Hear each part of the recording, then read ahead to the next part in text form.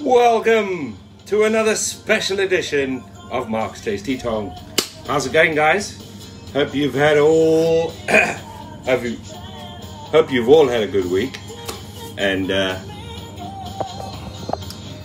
earned a few quid. You join me live in my biltong shed.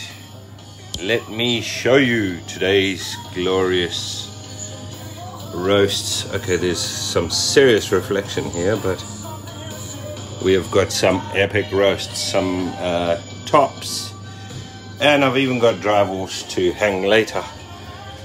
But you know what? Hi Loretta, how you doing? How's it? How's it? Right, let me click you over. Enough of my ugly mug.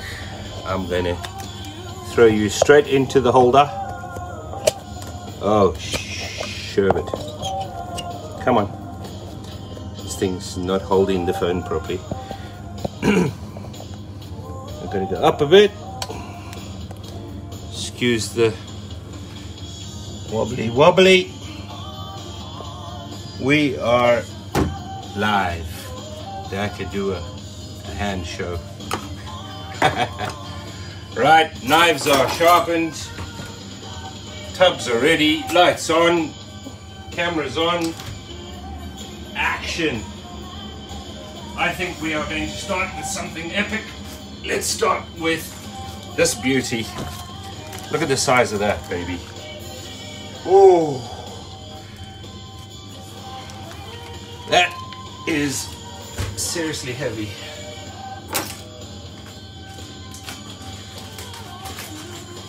Good sized beef this week. So as usual, we start off by simply removing our packaging. I run the water so it's cold. Rinse my blade.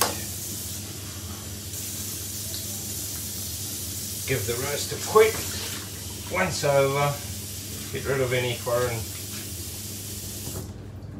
bits and pieces. Right. Jeez, that's massive. Now with this roast, clears, clearly shows you the three muscles that we slice. This is the main muscle here. Then you got this sort of triangular shaped one, and there's your bottom round there. And while I've got it this direction, just under the skin, follow it round, you get this sloppy stuff off. That was actually a perfect slice there. Now this is a mere membrane between the uh, hide and the, the meat.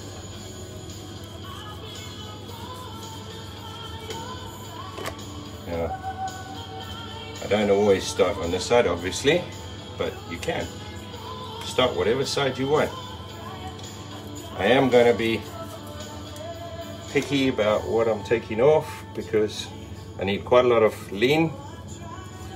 As you guys may have noticed on my page, um, I have been making biltong cakes. No, no oven work, no flour, pure meat, pure beef. And I tell you what I think I've already got eight cakes to do for for May. I've already probably done about 10 um, proving very popular. And obviously it's something different hey people don't just want it's a lot healthier too.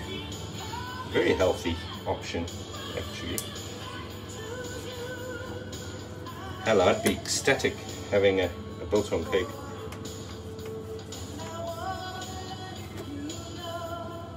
Um, I'm sending one to Denmark this week. To a Danish lady. Well, she's she is clearly from Africa. She knows what biltong is. It's a late 50th treat. And she's ecstatic at the thought of receiving it. I send it on Tuesday. She may well receive it by Friday. Get my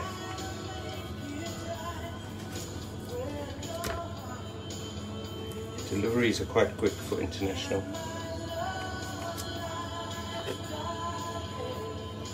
Um, I've been sending to Switzerland. Been getting there in four to five days. Now obviously I'm being quite harsh here, taking fat off, but bear with me. I will be securing some of it for Biltong. that piece for sure. This whole top piece here I'm going to take with me. Go straight into the tub. There's another big piece here. Oh, it took too much.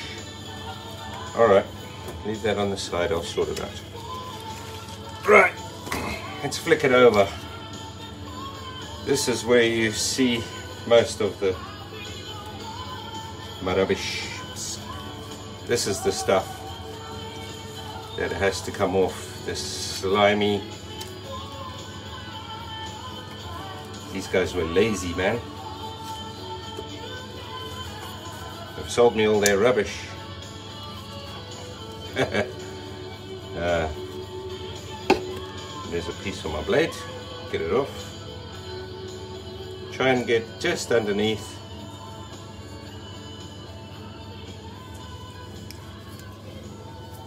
this very thin you could leave if you wanted to but I'm being quite harsh here because I need to make chili bites again and original bites so um, sadly my meat mixing my spicing machine is out of order so be doing it by hand this week which is fine. Did it before can do it again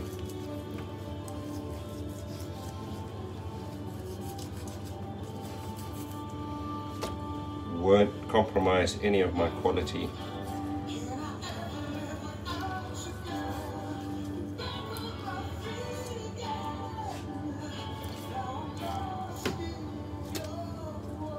Oh, that's gooey, that one.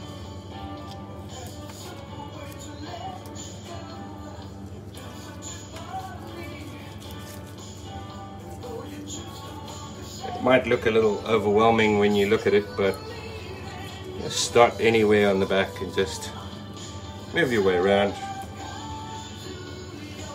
You can chop and change wherever you want to start or finish or if you choose to go from one to the other. What I do need to make sure is that my Wi-Fi is working. Oh, I don't know if it is.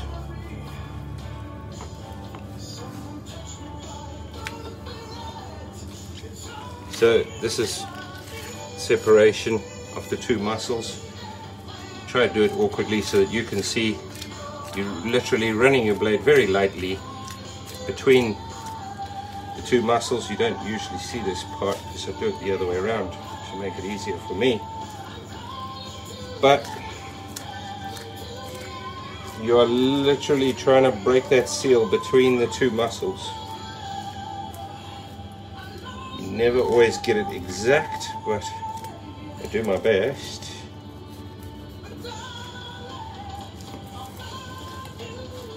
There we go and that's separated. I'm just going to turn this so it's easier for me. Just take that bit off.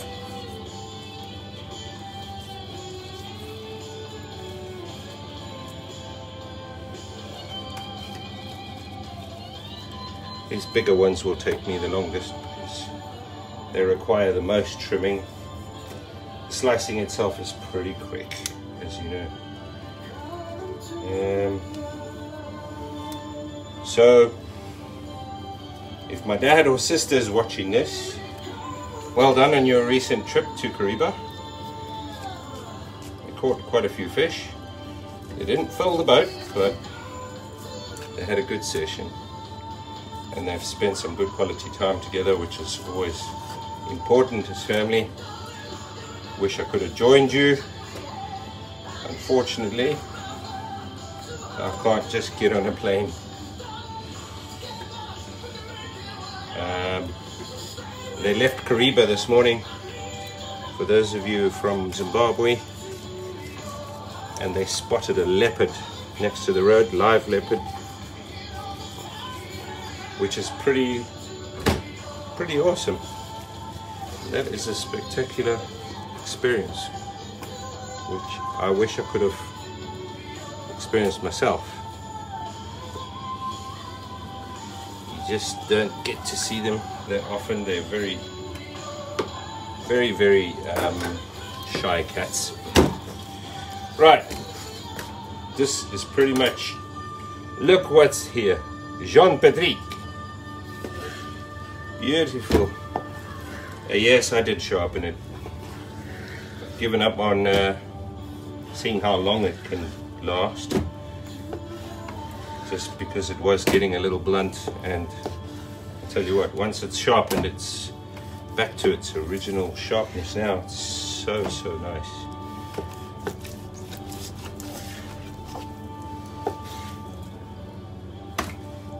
Anything with a little bit of fat goes into the fatty biltong pile. If you need to trim little bits off while you're working, then do that. Um, I want to try and get, see how this, I'll do it this way now because that bottom is got a bigger base than the top. You see the angle here, makes it awkward if it's the other direction. Don't worry about odd shaped steaks or slices. I'm obviously in Africa you would slice these a lot thicker I'm in the UK. My machine dries it pretty quick. I can have my biltong dry in 48 hours. So I need to vary my thickness.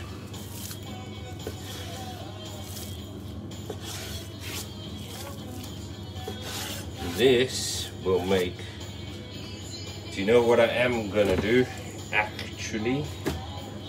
no we'll do all the slicing and everything first. I was to slice the chili bites, but careful slicing towards yourself, as I'm doing.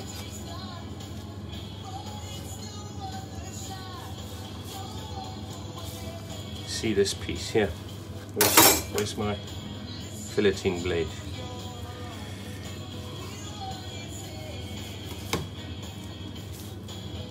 try and go in between that membrane and your meat and use it to your advantage and pull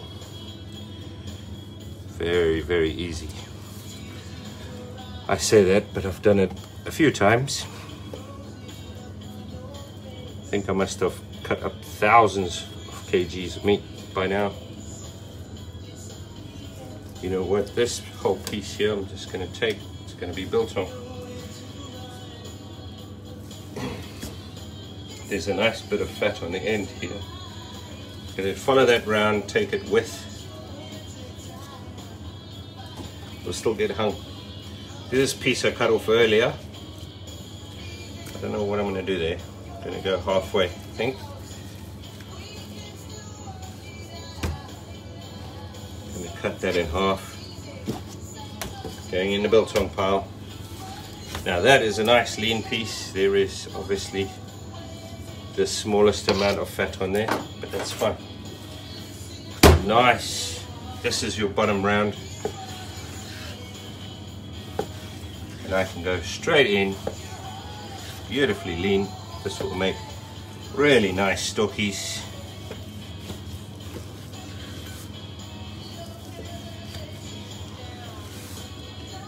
I have actually been considering changing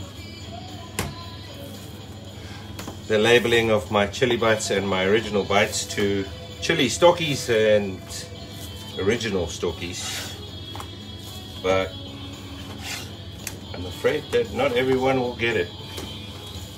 I think I might just stick with the bites. And that is number one. Should we do another big one? Let's do a couple of small ones, then another big one.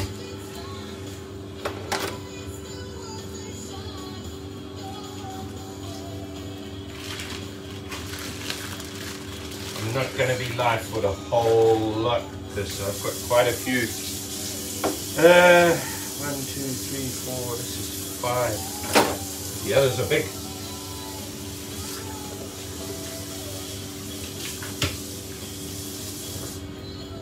So this is obviously a one muscle, isn't it? Well, actually, it's two. We're just missing the bottom round. So, again, I've got it on its belly, if you want to call it its belly. I'm being quite barbaric with the fat this week because I need a lot of lean. I've said that already.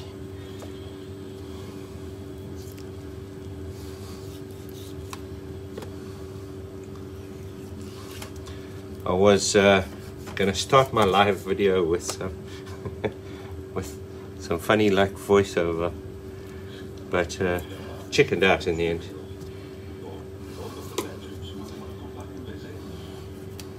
I'm not totally crazy. Some people might think I am, but I am not.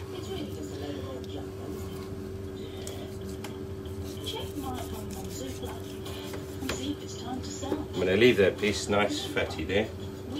Leave that bit too. Silver side here, lift a little piece on it, that will go off to be dried.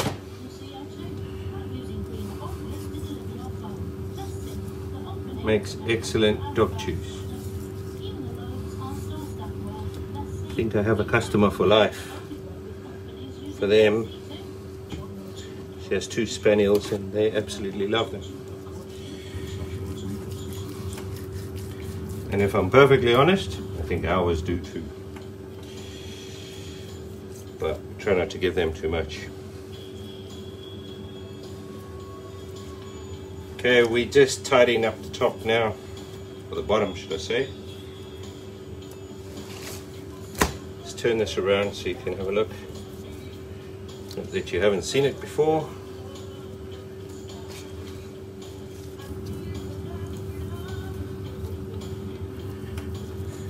I'm going to do a couple of little ones, then another big one, then I'm going to go and have a coffee. I like to give my back a bit of a break in between. So yeah, you can see there was quite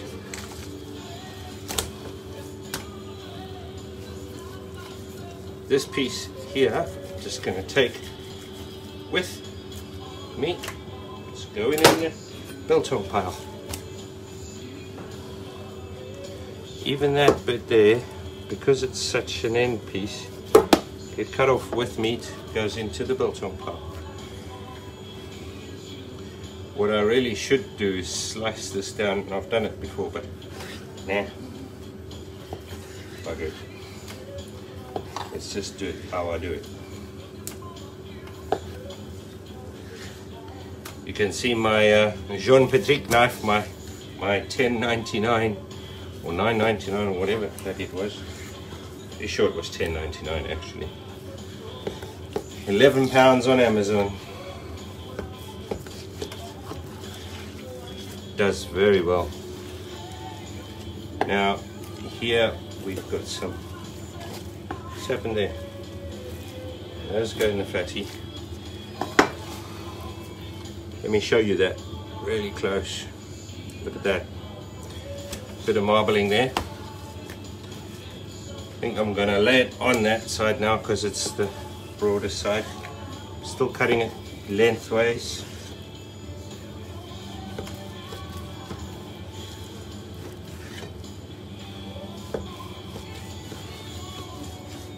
This is going to be for bites anyway, so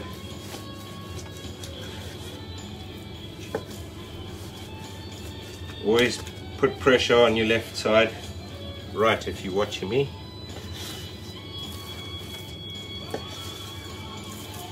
Just to keep it together while you slice. I have gone into my hand before doing that too so always be careful. Always be conscious where your blade is.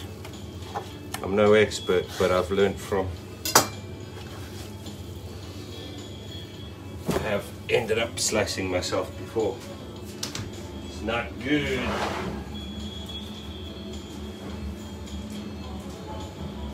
Oh, this one I got, got a little bit of a leak on the packet. So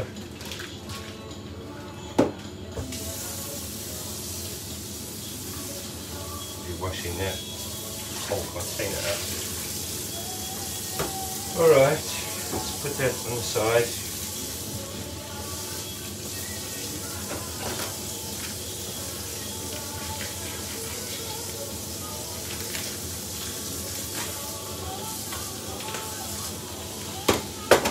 Always be conscious of where you get your meat from.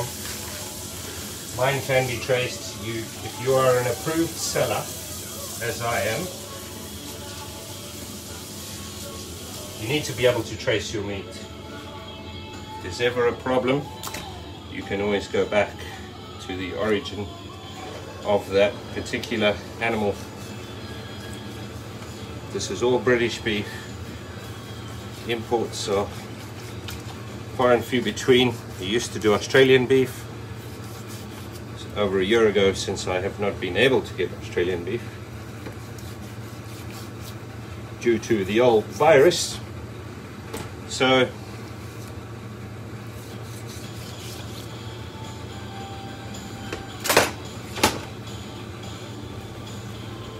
let's just get busy. Sometimes less talking and more slicing is what's needed. So let's do just that.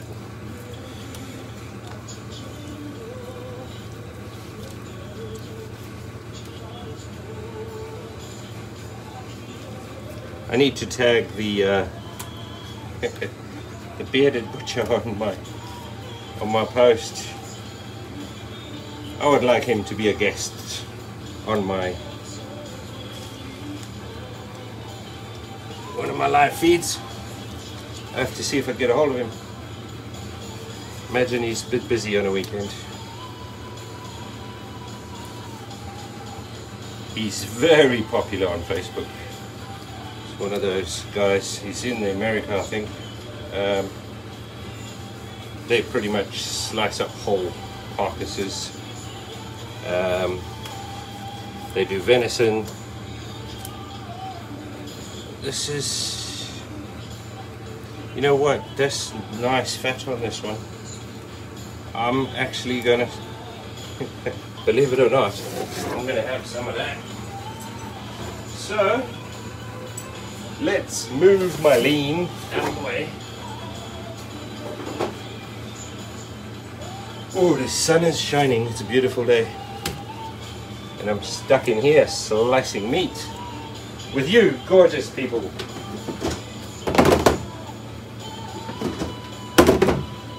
Rock and roll. Yeah, we want we want the fat on this.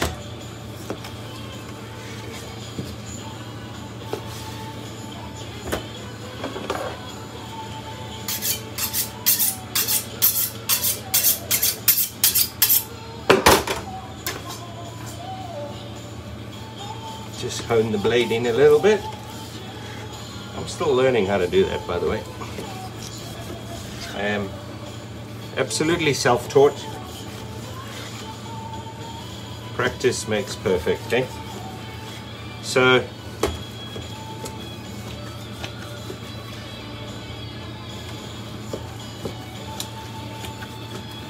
again I'm varying the depth not depth, but the thickness of my meat.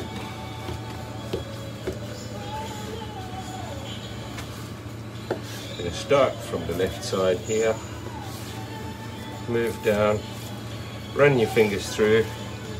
This has got some nice fat in it. It's a little bit wagyu. It's almost, it's, it's not completely wagyu, but it's, it's, it's, it's up there. It's pretty good. I've had better.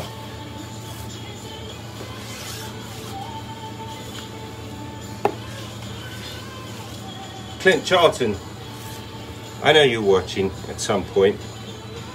That's your kind of piece there. In fact, maybe I'll save these for you because you have ordered. All this will be ready on Monday evening, so if you are going to place an order, www.markstastytong.com. I am actually officially now Mark's Tasty Biltong Limited.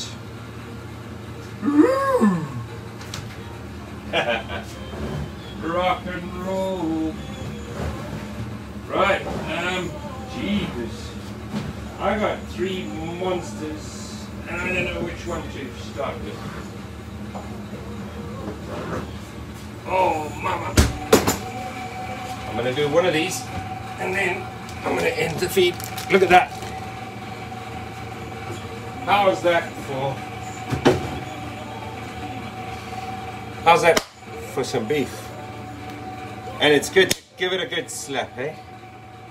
It's uh, practice for your lovely other half's backside. she loves it. She hates it really. I think I smack her too hard.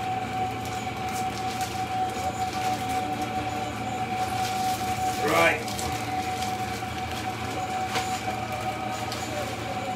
That's TMI for this show.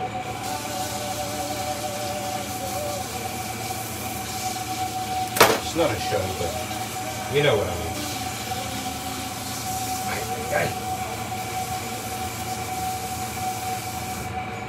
That is a gorgeous piece of meat.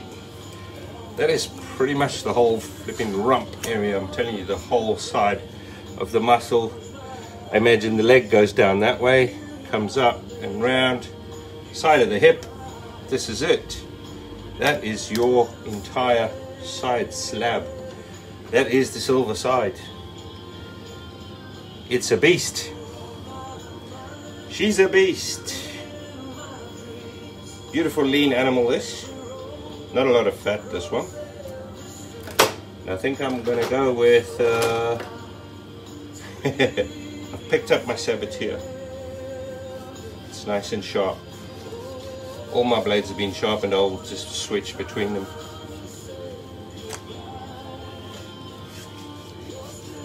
I like to follow the muscle round. I'll leave that piece of fat there, some nice fat that. But obviously this is the stuff here. Now the trick is to try and get in between that muscle and the fat and try and not to take too much meat with you.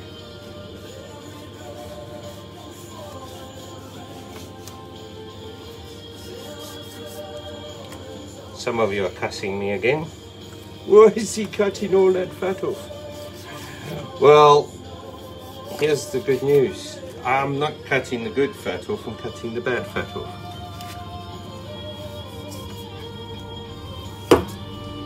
So, don't panic, Mr. Mandarin.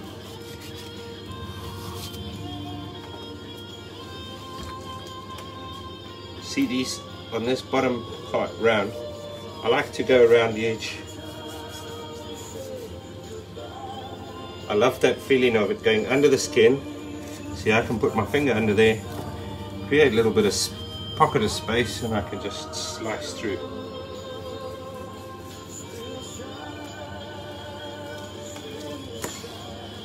Let's cut this piece off here with some meat because that will go into the fatty pile.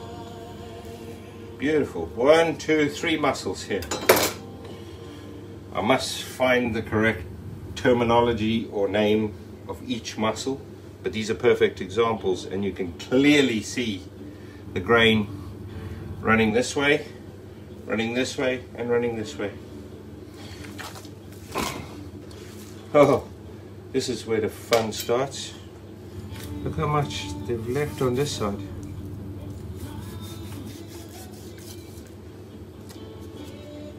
When, when your meat's pale like that, it's not a bad thing. It just means it's well drained. It means the, the animal has been dispatched quickly and has they've, they've drained the blood from the animal. Woo! Nearly cut my Twaja. Passou buena. Yes. Be careful. Guarantee you I'd have millions of followers if I sliced sliced into any of my body parts right now. And I'm not going to do it just for that. I can promise you that much. I am not that desperate for followers or customers. They come to me for quality, not for my witty humor or my slicing skills. Or maybe some of you do. Hey, Clint?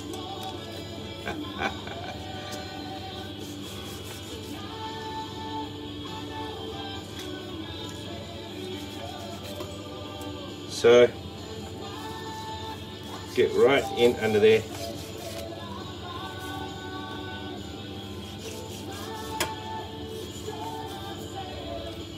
I am being pretty harsh. Right, I'm going in underneath that strap.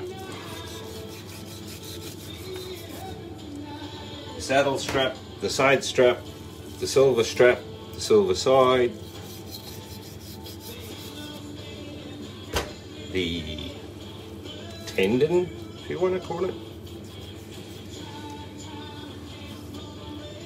I imagine it has other names.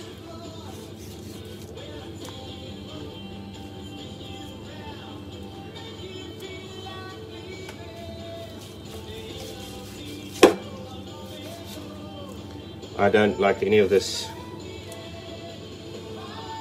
congealed blood on my roast. I've said it before, butchers will quite often keep it all, all of this, because it would go into your burger mixes, your sausage mixes, boerewors. Let me tell you a little funny story about boerewors. I don't know if I should actually. I made some yesterday at my local butcher, of course, where I go and make my sausage. And I stuffed up badly because I decide I'm going to try cheese and onion. I love that combination, sounds great. Cheese and onion and beef, perfect. What could go wrong, you say? Well, I'm doing a whole 10 kilo batch and I end up cutting the cheese into squares. I think it's big enough. I think it's going to be great. You're going to get little pockets of cheese in your boerewors. we put it into the stuffing machine. It stuffs the uh, skins and it blocks it every time. Because my little blocks of cheese were not little enough. So ended up having to mince the whole lot again. So it's had a double mince. And I don't have big chunks of cheese in my boerewors so but you know what? It smells amazing. I haven't tasted it yet but I am 100% it's going to taste amazing. It's not going to be exactly, exactly original Buddha Wors, But you know what? Practice makes perfect. So next time, I will make sure that I very, very carefully slice my cheese a lot smaller. Oh, what's happened here? That little piece there. Will have to go into the waste. Just won't even hang that. I got quite a lot. You watch everybody want fatty this week, and I'm gonna be like, well, I haven't got. Sorry, you're gonna have to have lean, because I got a load of lean.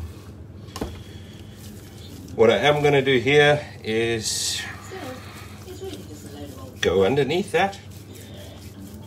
I usually do it the other way around. But you know what? There's there's it from that side. There's it from that side. You get a bit of fat with your. You've got to be um, adventurous. No. Um, confident is the word I'm looking for. If you want to see here, there's fat underneath there, but I'm gonna actually cut that whole lot off and dry that as it is. This is a little more discriminating and that's to get cut off. It's to be over 4 kgs of waste this week, that's for sure. But there is a lot of meat here. You guys better get your orders in. Are you watching? Sure as hell you're watching. You best put your order in. It's end of the month. You should have been paid. I have. And it's already blooming gone. It's one of those easy come, easy go kind of months. Almost every month.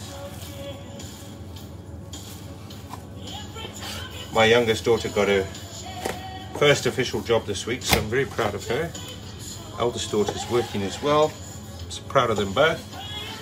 Hope they do very well. Gotta support dad one day. yeah, buy me a house, my girl. Right.